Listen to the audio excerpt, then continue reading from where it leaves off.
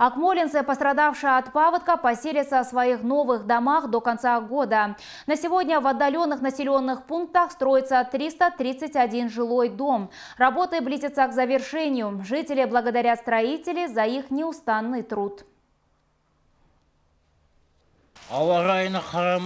Независимо от того, какая погода, мы работаем в две смены, чтобы быстрее закончить строительство этих домов. Часто идут дожди. Работаем на протяжении 4-5 месяцев.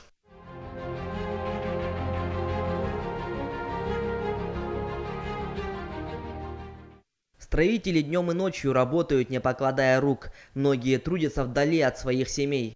фундаменттен бастадық қой Мы начали строить эти дома с фундамента. Приходим с раннего утра, в полседьмого. Работаем до 9 часов вечера. Стараемся как можно скорее закончить. Мы скучаем по семьям, детям. Каждый день созваниваемся.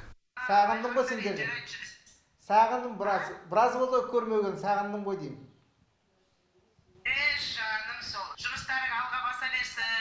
Дома, возведение которых началось всего несколько месяцев назад, в скором времени будут переданы жильцам.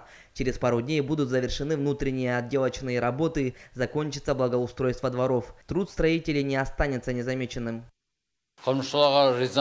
Выражаю благодарность строителям за то, что проделывают такую работу. Утром и вечером прихожу посмотреть. Все делают быстро и качественно. Перед строителями стоит важная задача. Их работа требует большой ответственности. Как отметили специалисты, они готовы неустанно трудиться, чтобы оправдать доверие народа. Кайрбек Тулегенов, Умсындык Наурызбаева, Данияр Жумагулов, Жамбыл Балатаев, Кокше Ахпарат.